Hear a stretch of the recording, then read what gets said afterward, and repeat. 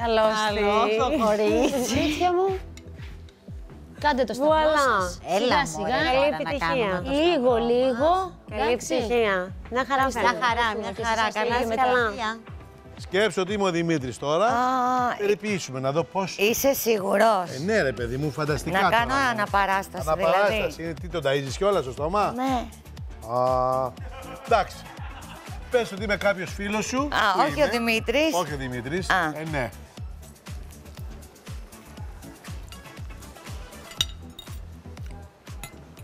Το μακαρόνι μου αρέσει έτσι όπως έχει βράσει. Ήθελε λίγο αλατάκι. Μου βγάζει πάρα πάρα πολύ έντονα τη γεύση της πιπεριάς. Το μανιτάρι δεν το ακούω καθόλου. Εγώ θα ήθελα και λίγο αλάτι. Σίγουρα η σάλτσα δεν έχει δέσει μεταξύ της. Ίσως ήταν αυτό που είπες ότι δεν το έβαλε μέσα στο τηγάνι για να Ναι. το κάνει ένα. Εντάξει, εγώ δεν τρελάθηκα, αλλά δεν είναι, είναι ένα Είναι τίμιο. τίμιο πιάτο. Είναι τίμιο. Σε σχέση με τα προηγούμενα, νομίζω ότι είναι ένα σχέση- πιάτο που είναι σίγουρα καλύτερο από άποψη Παρασκευής. Α, Α,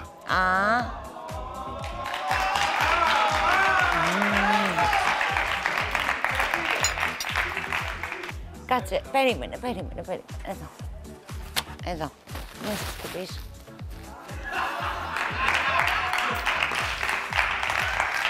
Μπράβο το στο αγόρι. φίλο της. Το Δημητράκη θα του βάζει και σαλιάρα εδώ. για να μην λερωθεί το αγόρι μου. Λοιπόν. Ωραίο ήταν. Εντάξει, δεν είναι πολύ ωραίο. Γευστικότατο, νόστιμο, πάρα πολύ ωραίο. Είμαι ευχαριστημένος. Για να δούμε λοιπόν Αλήθεια. τι θα πει για το πιάτο αυτό; Και ο Έκτορας Μποτρίνη.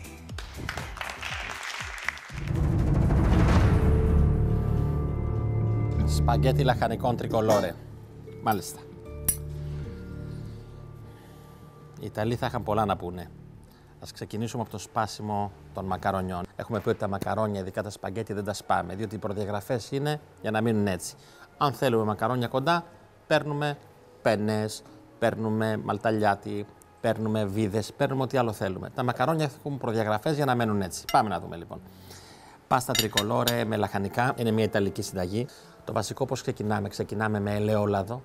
Σοτάρουμε τα λαχανικά με ελαιόλαδο, λίγο σκόρδο, μπορεί να βάλουμε και λίγο κρεμμύδι.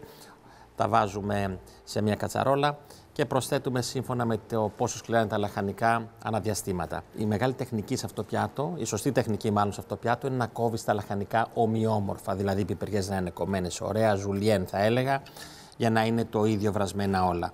Εδώ βλέπουμε ότι αυτό έχει βράσει αλλιώς, αυτό είναι πιο χοντρό, έχει βράσει αλλιώς και αυτό το μικρό έχει βράσει αλλιώς. Και ένα άλλο λάθος που έγινε είναι ότι έπεσε μισό κομμάτι από τη συσκευασία από το βούτυρο. Δηλαδή, όποιος το φάει, οι αρτηρίες θα κάνουν πάρτι.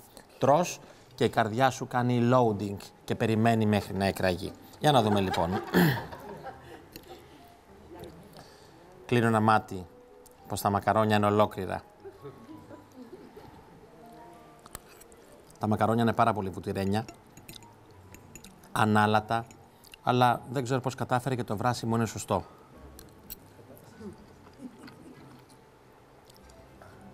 Αυτό που επικρατεί είναι το πολύ βούτυρο και η οξύτητα από την ντομάτα.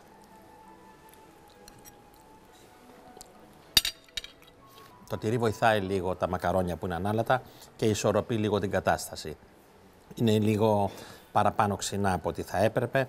Λείπει σίγουρα πιπέρι, λείπει λίγο σκόρδο, λείπει γενικά γεύση. Θα πήγαινε πάρα πολύ ωραία λίγος βασιλικός, λίγη ρίγανη, λίγο θυμάρι.